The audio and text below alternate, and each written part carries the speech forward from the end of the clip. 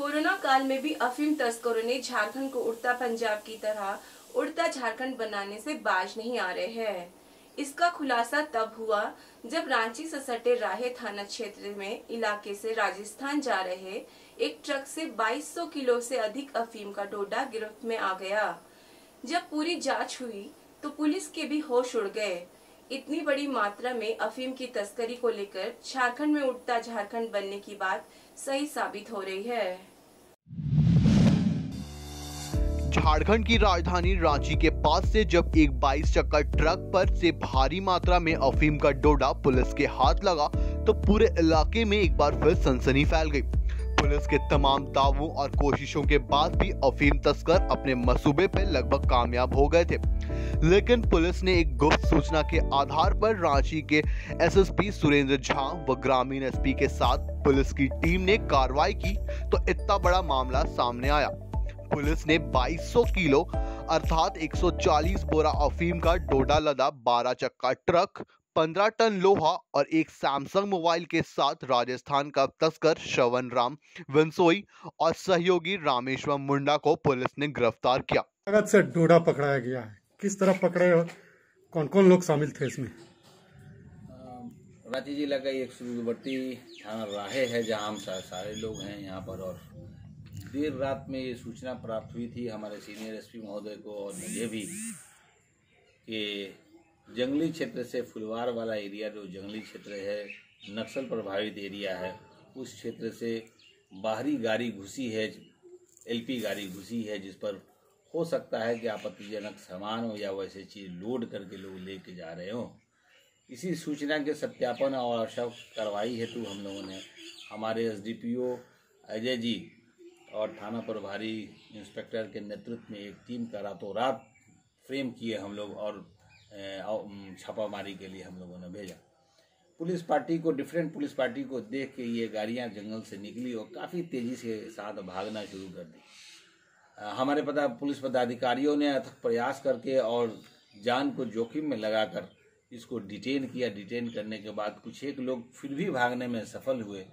फिर भी दो लोगों को गिरफ़्तार किया गया है, जिसमें से एक सरवन राम है जो जोधपुर राजस्थान के रहने वाले हैं और दूसरा सहयोगी रामेश्वर मुंडा है, जो राहे इसी थाना क्षेत्र के रहने वाले हैं। जब जाँच पड़ताल किया गया तो पाया ये गया कि उसमें अफीम, जो डोडा हो, कई बोरा, सैकड़ों बोरा से ज़्यादा इसमें लोड है, ओवरलोडेड आवश्यक जाँच पड़ताल के बाद पता ये चला कि इसमें करीब 2200 किलोग्राम ये डोडा है और करीब 15 टन लोहा भी है। ये गाड़ी कोलकाता से आ रही थी और इस जंगली क्षेत्र में अंदर में घुस के और इस एरिया से डोडा जो प्रतिबंधित चीज़ है इसको ले जाने का काम इन लोगों ने किया। तो इनके पास इनके पास से हाँ इनके पास से कोई कागजात वगैरह नहीं था। हम लोगों ने प्रथम दृष्टिया इसको दोषी मान के और सीजर किया है और कर कांड दर्ज किया गया लागत कितना है सर इसका? लागत कितना है? ये क्षेत्र हम कह सकते हैं कि राहे का एरिया है अनगरा का फिर सिली का जो इंटीरियर नामकुम के इंटीरियर एरिया है जहाँ तक एक्सेस हम लोग को बिना बहुत पुलिस पार्टी एलपी के द्वारा नहीं हो पाती है नॉर्मल ऐसे मूवमेंट नहीं हो पाता है। जब भी जाती है तो पूरी टीम जाती है और इस क्षेत्र में हम लोगों ने काफ़ी इसको डिस्ट्रॉय भी किया है। कई केसेस भी दर्ज किए गए हैं। लागत कितना है सर इसमें और कितनी बड़ी सफलता मानते हैं इस क्षेत्र इसकी सफलता तो निश्चित रूप से ये बड़ी सफलता ही कहेंगे इस क्षेत्र की। यद्यपि इस वर्ष में नामकुम और दूसरे थाना क्षेत्रों में हम लोगों ने पकड़ा है लेकिन राह में हमको लगता है कि पहली बार ये उपलब्धि इतनी बड़ी मिली है। आ, लोकल मार्केट में और प्लस राजस्थान के मार्केट का अगर हम लोग को रिलेट करते हैं तो जैसा ये ड्राइवर लोग बताए हैं कि ये करीब 35 लाख से ऊपर की जो है सो ये सामग्री है। चूँकि यहाँ जिस रेट में परचेज ये लोग करते हैं औने पौने दाम में उसको करीब दो हज़ार ऊपर के जी से भी अधिक दाम में वहाँ बेचने में ये लोग सफल होते हैं। और बड़ी शौक से लोग रा, राजस्थान जा रहे थे क्या? क्या इसके गिरफ्त में आएँगे?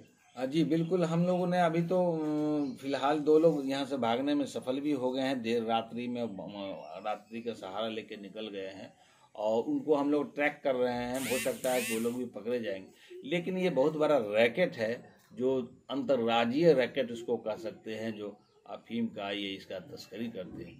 सिर्फ़ आप समझ सकते हैं कि राजस्थान की गाड़ियों का उपयोग, यूपी के गाड़ियों का उपयोग क्यों हो रहा है? इसके पहले भी नामकुम में हम लोगों ने जब डिटेन किया था पकड़ा था तो यूपी की गाड़ी बरामद की थी। इन लोगों का मानना ये है कहना ये है कि अगर हम लोग एक ट्रक डोडा अगर ले जाने में सफल हो गए तो हमें एक एलपी गाड़ी इसके मुनाफे में हमको मिल जाता। ऐसा इन लोगों का मानना है। अब बात भी सही है जब पैंतीस लाख चालीस लाख रुपया का सामग्री हो जा रहा है तो एलपी गाड़ी तो मांग। किन चीज़ों में सर इससे वैसे तो झारखंड में अफीम की खेती बड़े पैमाने पर जंगलों में की जा रही है। लेकिन इस बार पुलिस की दबिश के बाद कई जंगली इलाकों में फ़सल को शुरू में ही नष्ट कर दिया गया था। लेकिन पहले से ही इस इलाके में इतनी भारी मात्रा में अफीम की खेती की जा रही है, जिसे पूरी तरह नष्ट कर पाना आसान नहीं है। जानकारी के अनुसार राज्य में नक्सलियों की तरह से भी अफीम की खेती भारी पैमाने में की जाती है। इसकी तस्करी के बाद मिली रकम का इस्तेमाल वो संगठन को मज़बूत करने में करते हैं। ब्यूरो रिपोर्ट सबरंग समाचार रांची।